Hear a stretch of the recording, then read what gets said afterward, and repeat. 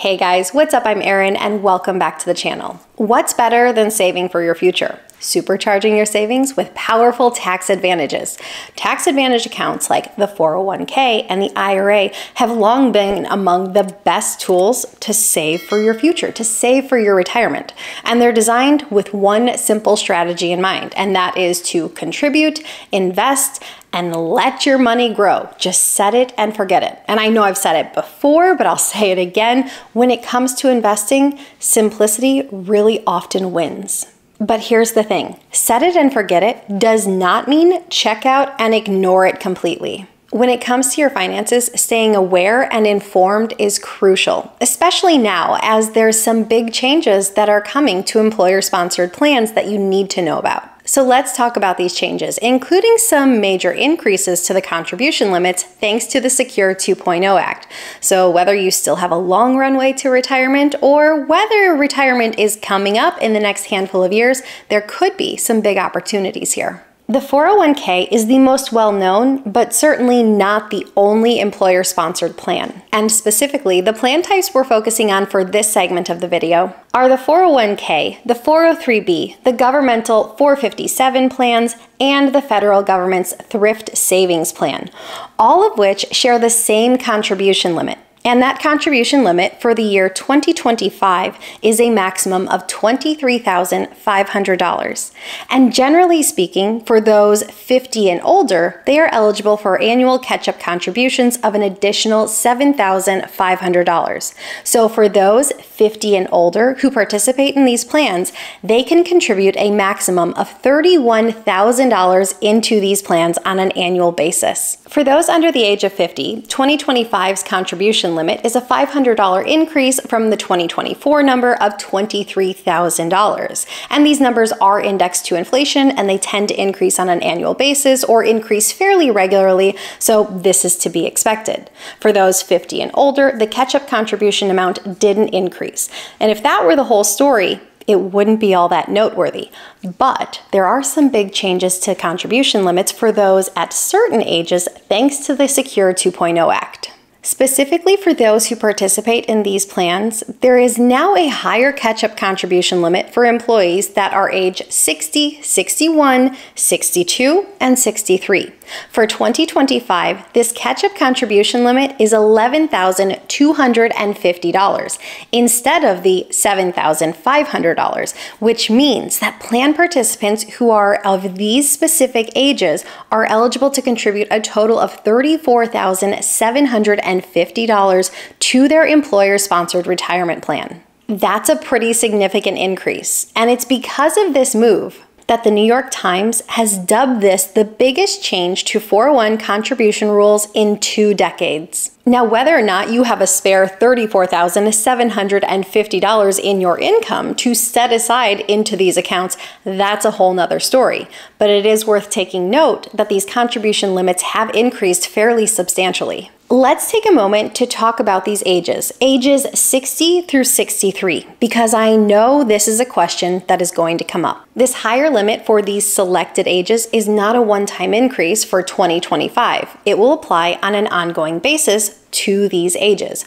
Also, just like other contribution limits, it is indexed for inflation, so it is expected that it will increase over time. To qualify for the higher contribution limits, you must be 60, 61, 62, or 63. But let's take a moment to talk about the book-ended ages. If you turn 60 in the year of 2025, whether your birthday's at the beginning of the year, the end of the year, doesn't matter so long as you turn 60 within the year, you are eligible to contribute this higher amount. On the other hand, if you turn 64 within the year, you are no longer eligible for this higher contribution limit. You would still be eligible for the catch up contribution limit for those 50 and older, but you are not eligible for the higher catch up contribution limit for those age 60 to 63. So it doesn't matter if you were 63 at any point throughout the year. Once you turn 64 in that year, you are no longer eligible for the higher contribution limit. So throwing some numbers into the mix, if you turned 64 this this year, you would be eligible for the standard catch up contribution limit for 2025 of $7,500 on top of the regular contribution limit of $23,500. You would not be eligible for the higher catch up contribution limit of $11,250. Now, as to why these higher catch up contributions are so restrictive on ages, the details weren't really given, but we can make some assumptions. For many, those early 60s, those years are really critical as they gear up for retirement before stepping away from the workforce. As in a very traditional sense, thinking about retirement as the age of 65 or what is dubbed full retirement age by Social Security of 66 or 67, depending on your birth year. So, this could really give workers the opportunity to ramp up their savings before stepping away from the workforce at one of those traditional ages. Also, the pragmatic side of me would likely say that there are budget reasons as to why the IRS or Congress wouldn't want to continue what they deem to be very high contribution limits across all ages,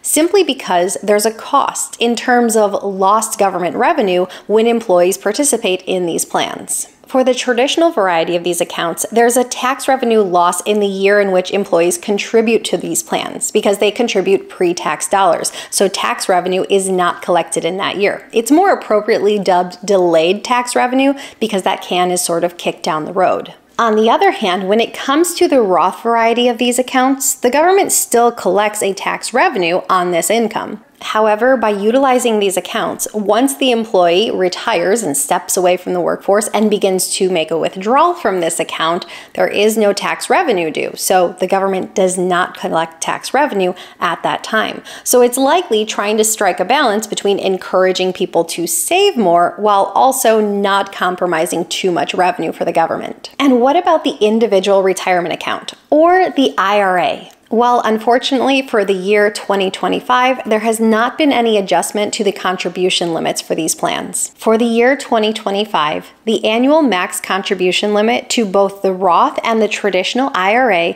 is set at $7,000 for those under the age of 50. And for those 50 and older, they are eligible to contribute an additional $1,000 in the form of a catch up contribution. If you are contributing to a traditional IRA, income limits don't apply, but if you're a high income income earner and you're contributing to a Roth IRA, you want to pay attention to those income limits. For singles earning under $150,000, full IRA contributions are allowed. A phase out starts at $150,000 a year, and no contributions are allowed once you surpass $165,000 a year in earned income. For those married and filing jointly, the income limits to pay attention to are $236,000 in order to be able to contribute the full amount and beyond $246,000 for those married and filing jointly, they would no longer be able to directly contribute to their respective Roth IRAs. It's always worth adding the distinction of not being able to directly contribute to a Roth IRA because the backdoor Roth is still an option if that is something these high income earners are interested in exploring. I do think it's unfortunate that we didn't see an increase in the contribution limits to IRAs because inflation was still happening this year in 2024. According to the Bureau of Labor Statistics, the inflation rate thus far for this year has been 2.4%.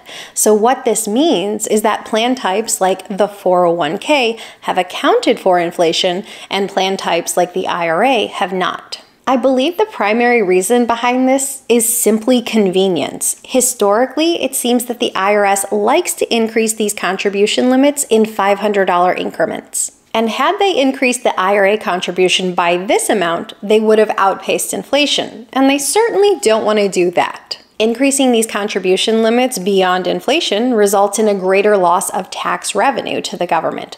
Also, it's seen as disproportionately aiding high income earners, as it is more likely that high income earners are going to be the ones who can contribute the maximum amount to these accounts. Lower and middle income earners may not have the financial means to max out these accounts. And increasing the contribution limits too aggressively can further widen the retirement savings gap for high income earners and low income earners. So the government's primary focus is to get people to contribute to these plans rather than focusing on getting people to max them out. And limiting the increase in contribution limits to inflation helps to keep these policies more equitable across all income levels. And we can quickly touch on how many people actually max out these accounts. According to Fidelity, in the most recent full year, so 2023, 22% of individuals under the age of 50 maxed out their IRA and 38% of individuals 50 and older maxed out their IRA, including catch up contributions. And according to Vanguard, just 14% of individuals under the age of 50 maxed out their 401k, and 12% 50 and older maxed out their 401k, including catch up contributions. And I want to add my two cents here. If you're utilizing an IRA and you have the means to do so, if you can max out your IRA in the start of the year as opposed to at the end of the year, there's a good reason to do so. If you do that every single year over a 40 year working career, you could actually retire with an additional three or four hundred thousand dollars in your account. And that's simply by investing earlier. By investing in January as opposed to December, you essentially get an additional year in your investments. You add an additional year to that compounding. Time in the market is what matters most. So, if you can make it so that your money is invested for longer, that's a great way to stack the deck in your favor. So I'm a fan of getting your money invested as early as you possibly can and getting that money working for you. Now, on the other hand, if you invest throughout the entire year, the difference would be less profound. And I do want to say that the takeaway from this should still be no matter when you invest, whether that's the beginning of the year, throughout the year, at the end of the year, so long as you're investing, that's the most important thing. It's really more of a micro thing to focus on when you're investing. Make sure that you are investing because that really matters more than anything else. What do you think about these changes, specifically those changes to the 401k? If you're age 60 through 63, do you think you're going to take advantage of the higher catch up contributions? Leave your thoughts in a comment down below. I post new videos every single week. If you got anything at all out of this one, please give it a like. If you're new here, please consider subscribing, or if you know of someone who might get something out of this type of content, please consider sharing. I'll see you soon. Bye.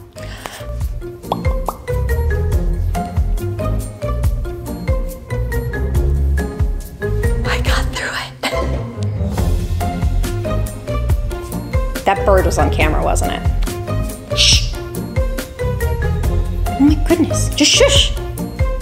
To qualify. Oh my goodness. Slow down. My stomach is so loud. I think my stomach just messed up my filming.